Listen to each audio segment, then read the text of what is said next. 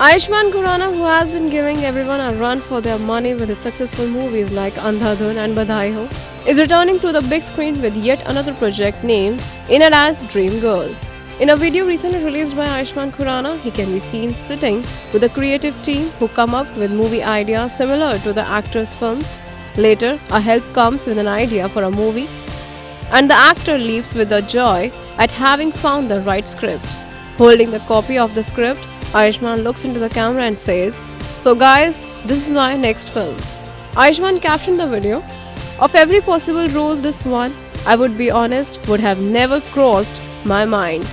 But uh, here I am to play a role in and as Dream Girl. It will also see Nushrat Bharucha in lead role. Dream Girl marks the first collaboration of Ayushmann Khurrana and Ekta Kapoor also.